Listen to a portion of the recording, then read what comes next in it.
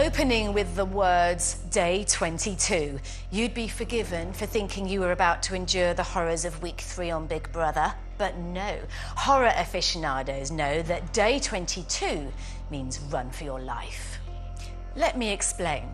The first film introduced us to a desert dwelling demonic creature who would rise every 23 years and go on a savage ritualistic eating spree for 23 days, taking certain edible trophies from its victims. Set just days after the original ended, the Creeper is back, and he's found a real feast to fatten him up on his last day of the hunt a busload of very macho basketball players and cheerleaders making their way across the desert.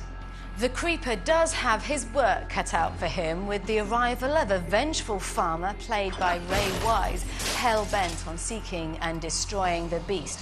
Hold on to your peepers for the network premiere of Jeepers Creepers 2.